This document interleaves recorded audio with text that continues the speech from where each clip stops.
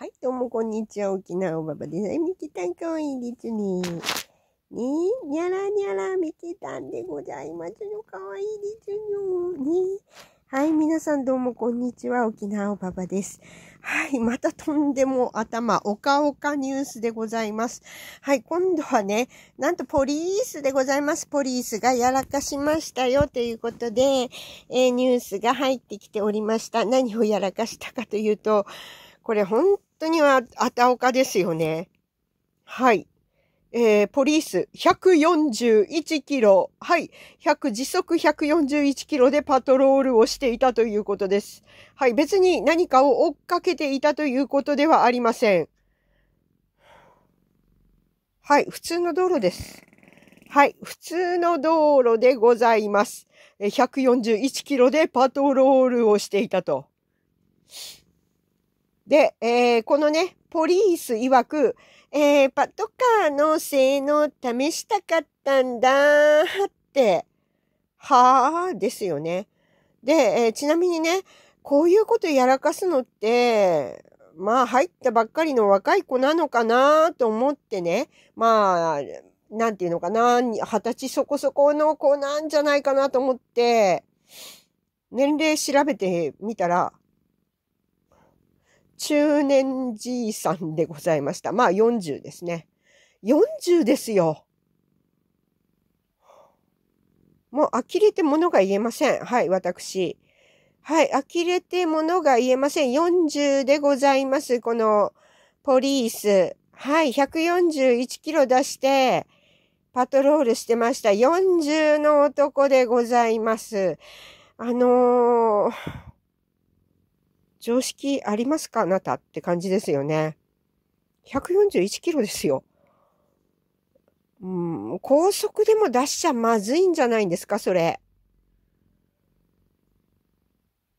まあ、とんでもない人間が本当に増えすぎてますよね。しかもポリースですよ。しかも40ですよ。まあ、二十歳そこそこのね、若そう、若そうだったら、こういうことやるのもね、まあ理解できるかなって思うんですけど、40ですよ。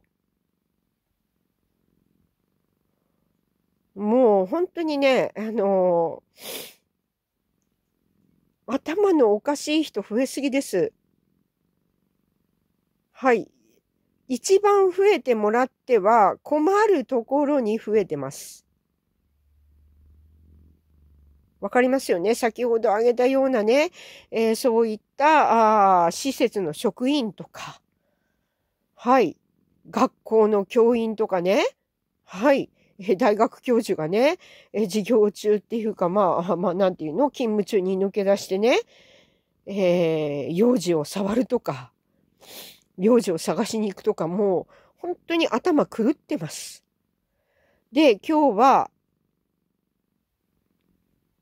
今日はですね、ポリースですよ。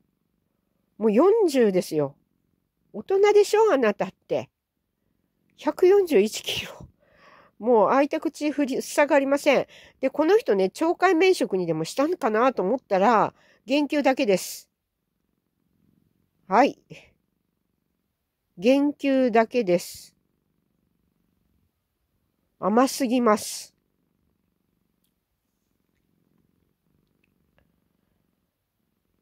もうね、もうほんとね、呆れることばかりでございます、私。はい。えー、生きていて、こんなにね、あのー、たまにこういう事象がね、目に入る、目に入るっていうかニュースになることありましたよ、今まで。一年に一度か二度。もう毎日毎日ですね、このところ。一番、一番ね、アボンボンではいけないところがアボンボンになっております。校長先生がね、えー、女子生徒をね、自分の中学校の女子生徒をね、えー、レイのプーしたりとかね、もう本当に呆れることばかりでございます。もうこの国ダメかもしれませんね、本当に。はい。えー、もうね、ある方が、なんか、あ、お経を唱え唱えればね、この国は無事なんだ、守られてるんだって言ってるおバカちゃんいますけど、あの、違いますから、因果応報ですから、はい。そういうことがあったとすればね、もし本当にあったとすれば、今頃日本はこんなに超過の4が、あ出ていません。はい。全くございません。公平です。はい。公平でございます。天の采配は公平でございます。なので、因果応報でございます。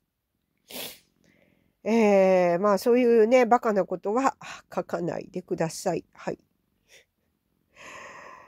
もうね、呆れても物が言えないんですけどね。はい。現状を見ればわかるでしょって。はい。因果応報です。はい。日本がなぜね、こういう風になってるか、その因は、はい。食べ過ぎです。わかりますよね？はい。何を食べ過ぎなのかは言いません。はい。えー、食べ過ぎです。なので、変えられませんよ。いくらお経を唱えたところで ごめんなさいね。本当にそうですから。はい。因果応報ですから。宇宙の法則でございますから、これが。はい。えー、そういうことです。えー、まあね、変なコメントがね、たまにあるんでね、えー、こういうふうに、まあ一応釘を刺しておきます。えー、そういうことなんですよ。はい。えー、もうどんどんどんどん変な人増えてきますんでね。皆さん本当に日常生活気をつけましょう。はい。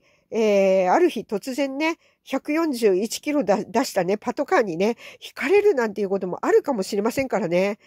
えー、もう本当にね、とんでもないです。しかもこういうことやってるのが、もう、大の大人です。はい。